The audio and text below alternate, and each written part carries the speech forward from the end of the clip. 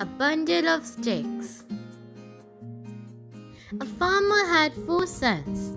The four sons were hard workers, but always quarreled among themselves. One day, the farmer got really sick.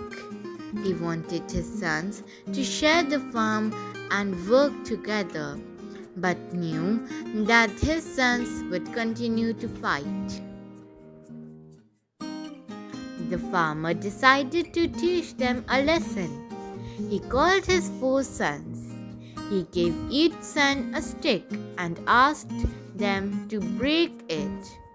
Each son easily broke the stick. Now the farmer gave his each son a bundle of sticks and asked them to break it.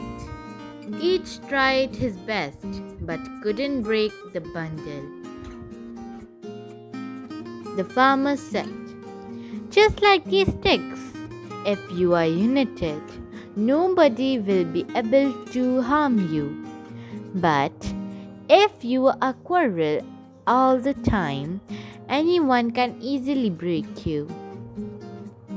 The sons realized their mistake and started working happily together.